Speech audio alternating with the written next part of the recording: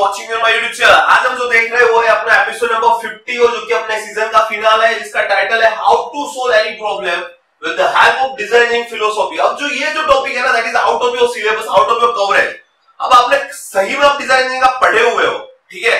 तो जो मैं, ये ये समझने के लिए आपको एपिसोड नंबर वन टू लेके फोर्टीन यानी वन टू लेके थर्टीन भी चलेगा। वन टू लेके थर्टी आपको क्लियर होना चाहिए, ठीक है? वन टू थर्टीन अगर आपके एपिसोड क्लियर है तो आप कोई भी प्रॉब्लम हो, चाहे आप ईयर प्रोजेक्ट के स्टूडेंट्स हो, या फिर कोई भी स्टूडेंट्स हो, आप डिज़ाइनिंग के स्टूडेंट्स हो, या खुद अपने लिए कोई प्रॉब्लम सोल्व करना चाहते हो, या यू वांट बी बड़ी एंटरप्रेन्योर कोई भी चीज़ हो, ठीक है? प्रॉब्लम सोल्वर हो तो आप किस तरीके से डिज़ाइन इंजीनियरिंग या डिज़ाइन थिंकिंग जिसका ओरिजिनल है उसका हेल्प करके आप प्रॉब्लम को सोल्व करते हो तो सबसे पहला स्टेप होता है ना, वो होता है प्रॉब्लम स्टेटमेंट ठीक है? आपको शायद प्रॉब्लम पता होता है, या फिर उसके रिलेटेड कोई डोमेन पता होता है, जहाँ से आपको प्रॉब्लम ढूंढनी होती है, ठीक है? तो मान लो कि हमें प्रॉब्लम पता है already we know the problem के भी कुछ ऐसा है, ठीक है? उसे बोला है कुछ इंप्रूव करना है या फिर it's be X Y Z कोई भी प्रॉब्लम है, ठीक है? या फिर कोई डोमेन हमें प्रॉब्लम नहीं पता है डोमेन पता है कि हाँ भाई, कोई ये जो है ना, इसमें कोई प्रॉब्लम कुछ प्रॉब्लम मुझे नहीं पता एक्जेक्टली क्या प्रॉब्लम है बट इट इज़ समथिंग इसमें कुछ है तो आपको डोमेन पता हो या फिर प्रॉब्लम होता है, ठीक है? तो अब यहाँ पे आप अपनी तरीके से रिलेट करना आपका जो भी प्रॉब्लम है तो सबसे पहले ये जो डिज़ाइन थिंकर होता है या फिर जो डिज़ाइन इंजीनियर होता है ना, वो सबसे पहले प्रॉब्लम को एज अ प्रॉब्लम नहीं मान रहा है। क्योंकि प्रॉब्लम आपको जो बोल रहा है जो आदमी, क्योंकि आप एज प्रोफेशनल डिज़ाइन इंजीनियर हो तो प्रॉब्लम सोल्व करोगे। प्रॉब्लम आपने डिफाइन किया होगा, सामने वाले आदमी ने डिफाइन किया होगा, बोला होगा, ये प्रॉब्लम है सोल्व करो। लेकिन तो सबसे पहले इस प्रॉब्लम को प्रॉब्लम नहीं लेता है। तो आपको इस प्रॉब्लम को सबसे पहले प्रॉब्लम नहीं समझना है। अच्छा मान लिया कैसा है, पर आपको एक्सेप्ट नहीं करना है। अब वो जो प्रॉब्लम बोल रहा है, जिस प्रोडक्ट में है या फिर जिस डोमेन में वो जो चीज़ है ना, उसका आपको सबसे पहले ऑब्जर्वेशन करना है, ठीक है? आपको क्लियरली ऑब्जर्वेशन करना है। वो ऑब्जर्वेशन हम करेंगे अपनी एआईयू कैनवास की मदद से या एआईयू टेक्निक की मदद से activity environment interaction object user आप इसका वीडियो भी रिकॉर्ड कर सकते हो, कुछ भी कर सकते हो ऑब्जर्वेशन करेंगे आप उस डोमेन के अंदर, ठीक है? अब आप ऑब्ज़र्व करने के बाद आप देखेंगे कि ये जो आदमी ये प्रॉब्लम बोल रहा है, सही में क्या उसके रिलेटेड कुछ ऐसा प्रॉब्लम दिख रहा है? हाँ वो बोल रहा है ऐसा प्रॉब्लम तो है, लेकिन जो प्रॉब्लम है क्या उसके साथ भी कोई दूसरे प्रॉब्लम है, वो जुड़े हुए हैं कि जिसको ये सोल्व करके बाकी के प्रॉब्लम भी सोल्व हो सकते हैं? So you are not just going with के हाँ भाई यही है तो यही सोल्व करना है. You are going with the open mind like ठीक है, आप ओपन माइंड से जाते हैं आपको अपना थिंकिंग है, वो डाइवर्स रखना पड़ता होता है. तो इसलिए आप यहाँ पे ऑब्जर्वेशन करते हो, ठीक है? आपको कुछ यहाँ पे चीज़ें पता चलेगी.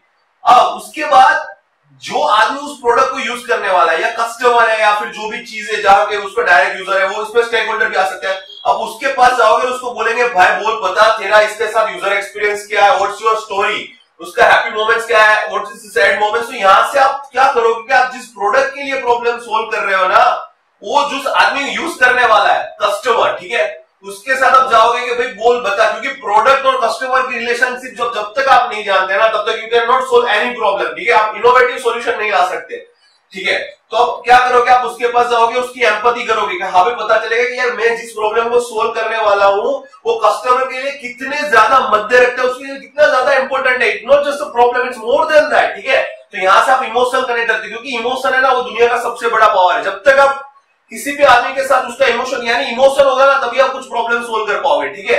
तो यहाँ पे यू विल नो कि भैया ये प्रोडक्ट जो मैं प्रॉब्लम सोल्व कर रहा हूँ, इससे इतने सारे आदमियों के इमोशंस जुड़े हुए अब उसके बाद आता है आइडिएशन अब यहाँ पे कुछ आप आइडिया जनरेट करने वाले हो, ठीक है? तो यहाँ पे अपना आइडिएशन कैनवस यूज़ करेंगे और हम अपना different different situation context location में अपना जो प्रॉब्लम है उसको देखेंगे।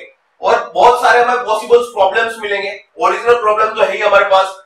अब यहाँ पे एडिशन के बहुत सारा प्रोप भी मिलेंगे क्या क्या पॉसिबल सोल्यूशन हो सकते हैं, लेकिन अभी यहाँ पे हमने कुछ डिसाइड नहीं किया। उसके बाद हम आएँगे प्रोडक्ट डेवलपमेंट कैनवास और यहाँ पे हम अपना प्रॉब्लम है डिफाइन करते हैं, ठीक है? कि हाँ भाई, अब मैंने ये वैलिडेट कर किया हुआ है कि हाँ वो बोल रहा था वही सेम प्रॉब्लम है या कुछ और प्रॉब्लम है तो यहाँ पे मैं अपना प्रॉब्लम डिफाइन करूँगा। और यहाँ पे प्रॉब्लम यहाँ पे आपने जो एडिशन करते हो ना तो आपने बहुत सारे सोल्यूशन सोचे हुए लेकिन अब यहाँ पे आप क्विक सोल्यूशन पे आ जाते हो कि हाँ बस ये सोल्यूशन है, वो अच्छी तरीके से काम करेगा। तो यहाँ पे आप प्रॉब्लम भी अपना सोल्व कर दोगे, ठीक है? अब यहाँ पे आपने प्रॉब्लम डिफाइन कर दिया प्रोडक्ट डेवलपमेंट करने और आपने बोला कि ये फीचर्स फ़ंक्शन डालूँगा तो प्रॉब्लम सोल्व हो जाएगी, ठीक है?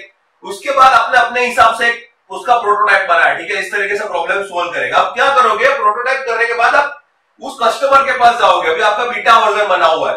तो आप देखोगे भाई देखो मैंने इस तरीके से प्रोडक्ट बनाया आपको क्या लग रहा है? ठीक है, इसमें कुछ रिफाइनमेंट की ज़रूरत है? तो अगर कस्टमर बोलेगा कि हाँ भाई, अभी इसमें, अभी आप जिस तरीके से बना रहे हो, उसमें अभी कुछ खामी है तो आप फिर से आप बेल से आओगे। अगेन आप अगेन उसमें चेंजेस करोगे। Again you will go to the customer if you will say no you will again do the changes तो ये तो जब ओरिजिनल प्रोडक्ट होती है ना, इसमें तो 25 बार 30 बार 50 बार इसका सेम ही चीज़ का प्रोडक्ट बनता है पर आपको हिम्मत नहीं आनी, आपको काम करना है, ठीक है? फिर एक चीज़ ऐसी आएगी जब कस्टमर लगा, यस नाउ इट्स ओके तब जाके आप उसको मार्केट में लॉन्च करोगे और आपको सक्सेस मिलेगी। तो इसी तरीके से बच्चों, आपको पूरा इस तरीके से ज़्यादातर क्या होता है प्रॉब्लम से लेके डायरेक्ट यहाँ पे आ जाते हैं। ये है ना, ज़्यादातर डिज़ाइन देंगे अगर आप यूज़ नहीं करोगे तो प्रॉब्लम से लेके डायरेक्ट यहाँ पे आ जाओगे। अपने हिसाब से प्रोटोटाइप सोच लोगे और सोल्व कर दोगे। ये बाकी का जो इंपॉर्टेंट पार्ट है ना, वो ओमिट हो जाएगा, ठीक है? तो इस तरीके की मदद से आप कोई भी प्रॉब्लम है with the help of design thinking philosophy जो हमने पढ़ी हुई है अब इसको प्रॉब्लम सोल्व कर सकते इसमें बहुत सारा डिटेल में आएगा, लेकिन इतना टाइम है नहीं और इतना मैं कह भी नहीं पाऊँगा आप सुन भी नहीं पाओगे, ठीक है? तो मैंने आपको बेसिक बताया आपको लेक्चर पसंद आया पसंद है, इसको लाइक करें शेयर करें सब्सक्राइब करें। Nice day bye